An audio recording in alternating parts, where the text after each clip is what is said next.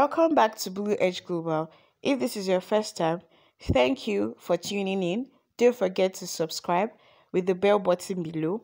And if you're a returning subscriber, thank you for being loyal. And don't forget to also share this video and encourage others to subscribe. EFCC exposes religious sector laundering money for terrorists.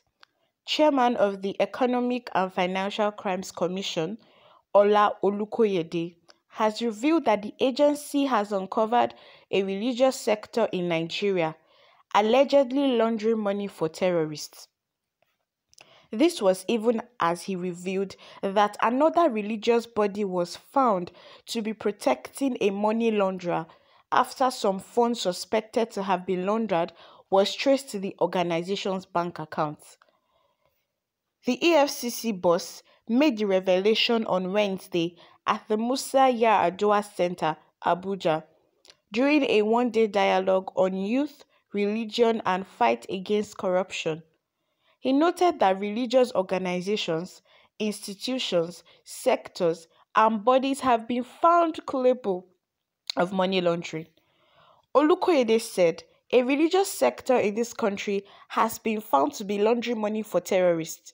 We were able to trace some laundered money to religious organization, and when we approached the religious organization about it, we were carrying out our investigation. We got a restraining order stopping us from carrying out our investigation, he said. The event is still ongoing as of this report.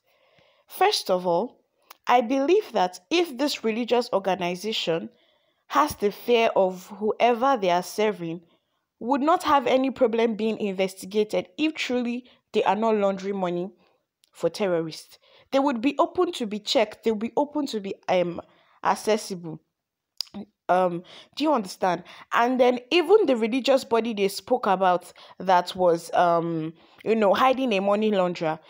I, I I want to believe that I don't I don't even fully be I don't even fully want to believe that it is a religious organization that you know is laundering money for terrorists. What if uh, there are individuals that started up this organization and quoted it in the name of like religion, thereby protecting money for terrorists? Or what if these terrorists themselves were the ones that came up with this organization and you know made it a religious institute so that it will look like it's a religious organization because nobody would really want to um, judge a um, religious institution or a religious organization that oh they are into money laundering. That will probably be one of the last places to check that oh they as uh, christians they are muslims you know and other religions that are there that oh they won't be involved in such an act. But now that it is being traced to a religious organization questions needs to be asked questions that are raised. Now investigation is now ongoing because if efcc has already um traced and seen evidence that from the religious institution that there's money laundering i believe that the institution should be shut down first of all. The the account should be frozen. It should be frozen. There's no need for even you know going there to be asking questions because if there's already evidence that they are tracing money to the terrorists they should be there should be already like a uh, a freeze freezing all the accounts already by this time because all this long talk, all this back and forth, the restraining order is even giving them time. It's giving them time to probably even move the money to another place. And you know, you just said that the religious organization, quote unquote, has been shut down. Because what is the, the guarantee that it is not even the terrorists themselves, you know, that are owning this religious organization that are making it seem like, oh, because I'm wondering why EFCC didn't talk about the why they didn't also mention the organization or the name of the institution because if it's already if you mention the name of the institution eh, the whistle has been blown. Everybody is already aware. Everybody will be on the lookout for you know this type of thing. And people are blaming it on this religion. Oh is that religion. I don't want any religion to be slandered here because we actually don't know. We don't know.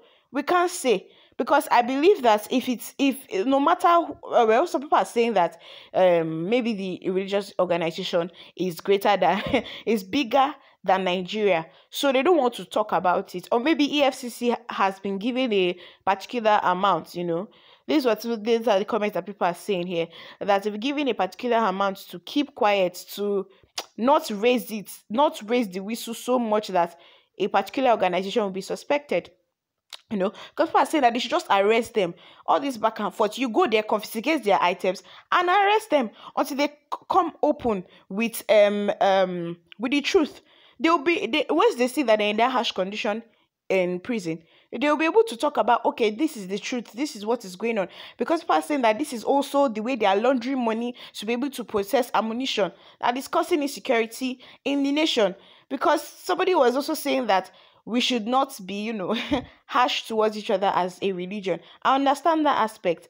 But now it is not like a war between Christians and Muslims. Oh, Christians will never do this. Muslims will never do this. I don't believe that the, the, the table should be turned yet.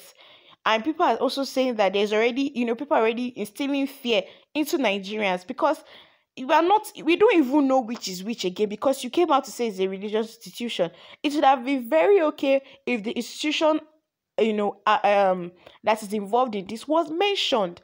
They were mentioned, they were arrested because so that you will know that these are the institutions, religious institutions that, you know, have evil intentions. And these institutions might not even be recognized. They might not even be known. They might just have been registered as religious institutions. And at the end of the day covering up for ammunitions and money laundering and all of that which is not fair because this is tarnishing the image of religious bodies out there it's tarnishing the image of religious body out there because people are also saying that what if the ammunition they are, you know, purchasing with the money laundered, they're using it to kill innocent people, all in the name of oh, it is uh, a religious institution.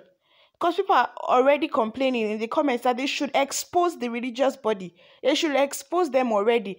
That is is now we are creating noise around the religious institution. This is already creating time for them. What if this is a means to store time for them to be able to transfer the money to another place, to be able to move the money to another, you know, another account and all of that?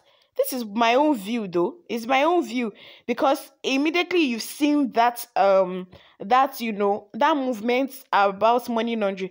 Immediately the decision is supposed to be confiscated the building, their accounts, you know, because people are saying that um who who who who could be able to give EFCC a restraining order, a restraining order because there's already a financial crime. EFCC has already said that they had already seen um the transaction made. They have already seen evidence. So what is the restraining order for? Who are they restraining? EFCC for doing their job? Who? Why? Why are they restraining them? Who who who was the person that you know gave that restraining order for something that's already there's already evidence ha haba we need to actually expose these people. Because by the time um, efcc is you know going back and forth they would have already settled some people here and there. And then at the end of the day you won't hear anything about this. And this will keep going. Before you know it one two three four religious organizations have already started money laundering They've already started the money laundry, and then before you know it, we have quite a number of uh, religious institutions now.